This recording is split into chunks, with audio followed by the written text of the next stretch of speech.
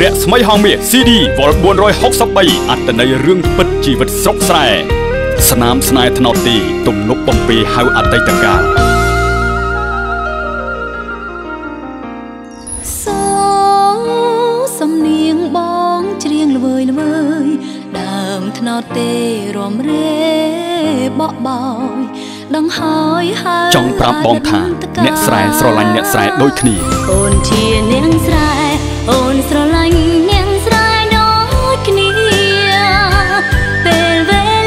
ឆ្ងាយក៏ចិត្តនៅតែក្បែរប៉ុន្តែហេតុអ្វីក៏សន្យានៅតែជាសន្យាពេលនេះសន្យានៅចាំសន្យាច្រើនខែច្រើនថ្ងៃទុំទឹងចាំមើលផ្លូវថ្លៃឮគេប្រាប់ថាអូនចិត្តរៀបការជាមួយកូនអ្នកមានតើអូនរៀបការថ្ងៃណាមានគេ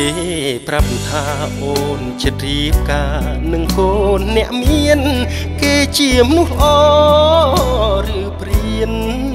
ស្នេហាមួយនេះត្រូវការទឹកភ្នែកមកជួយរំលែកពេលដែលសង្សាររៀបការចោលខ្ញុំនេះឬសេចក្តីស្នេហាបានត្រឹមជាសង្សារសង្សាររៀបការបងយំចោលយំ175ថ្ងៃជាមួយការឈឺចាប់175ថ្ងៃគ្មានស្រីបងរស់ដូចស្លាប់ឬមួយត្រូវរស់ក្នុងការឈឺ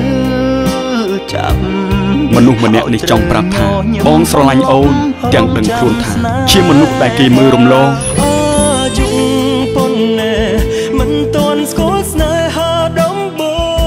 ងបានត្រឹមលួចស្រឡាញ់គេតែបងនៅតែចង់សួរថាតើស្រឡាញ់មិនបានឬមិនបានស្រឡាញ់អូនថាយើងមិត្តល្អស្រឡាញ់មិនបានអូន ចូលចិត្តរករស្មីហងមាស CD វល់463ចេញលក់ថ្ងៃនេះតម្លៃ6000រៀលសម្រាប់10ថ្ងៃដំបូងតើស្រឡាញ់ហងមាសរស្មីហងមាសជាទីពេញចិត្តរបស់លោកអ្នកស្រ